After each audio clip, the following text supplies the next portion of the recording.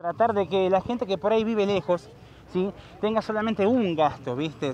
Porque hoy en día las cosas no están bien por la pandemia y por otras cosas más. Nosotros queremos también poder trabajar de corrido para poder de una vez por todas una mejor calidad de vida, tanto para nuestras familias como, como para nosotros mismos, ¿viste?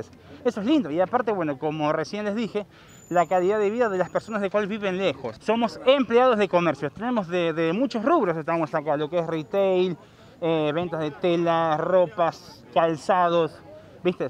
A full estamos acá tratando de hacer una manifestación pacífica. Quiero que se entienda, esto es pacífico. La opinión del cliente realmente es muy favorable, nos ayudan muchísimo.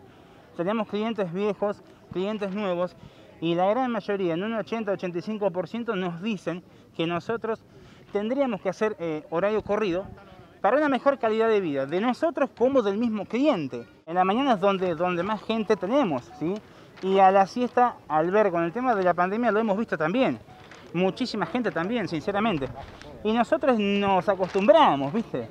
Esto es, así. Hemos hecho un petitorio al intendente, el señor Sergio Tamayo, del cual muy amablemente nos dijo que presentemos una nota para poder presentársela y que ellos después evalúen ese mismo tema, que el tema central es que de una vez por todas sea el, horario corrido en una nota, ¿sí? que, se grabe y que diga, en vez de, de que hagan cortado de 9 a 16 o que cada dueño decida qué, horario, definirlo directamente. De 9 a 16 somos personas comunes que vamos a, a comprar y por ahí con el horario cortado se nos complica un poco porque salimos medio tarde y como dije recién, con el tema de la pandemia se complica un poco más, pero bueno, a lo que queremos llegar son varios factores, ¿vio?